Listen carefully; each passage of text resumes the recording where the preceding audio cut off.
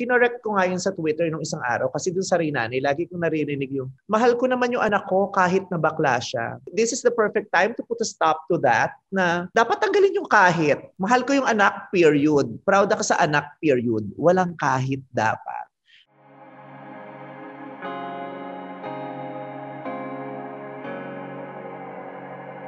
So ayun, so siguro ang may advice ko lang sa families na may ano, na may LGBT na, na members, siguro ano, since hindi naman sila lahat ganun ka-open na pag-usapan ito, kahit hindi i-verbalize, make your family members feel that you love and accept them fully. So walang mabubuong fears dun sa tao na ay baka hindi nila ako mahalin ay baka hindi nila ako tanggapin. Kasi kung nararamdaman nila yon, kung malinaw sa kanila yon, hindi mabubuo sa kanila yung thought na baka hindi ako tanggap. So, whether or not hindi mapag-usapan, kung napaparamdaman na, napaparamdam naman talaga na tanggap na tanggap at mahal na mahal, hindi siya magiging issue. Yung iba kasi hindi na verbalize hindi na pinag-uusapan, pinararamdam pa. Tapos biglang tatanungin, bakit hindi mo kasi sinasabi?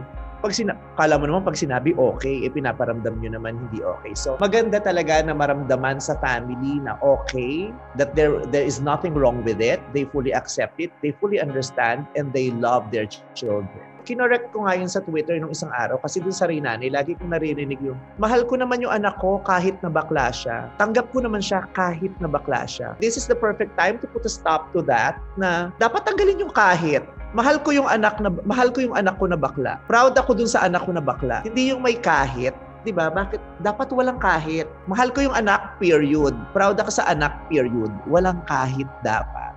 It's very hard to say that you support a community that you do not understand. Dapat talaga ituro na talaga yung Soji para maintindihan ng mga Pilipino sa eskwelahan. Kasi pag may nakakausap ako talaga, sinasabi na, hindi, support ko naman siya. Pero it's very hard to support a person you don't fully understand. It's very hard to say that you support a community that you do not understand. You have to understand the community. You have to understand Soji for you to be, to, to be able to fully support them, accept them, and love them. Kasi ang hirap ng sinasabi lang, di okay naman sa amin, hindi mo naman naiintindihan talaga eh.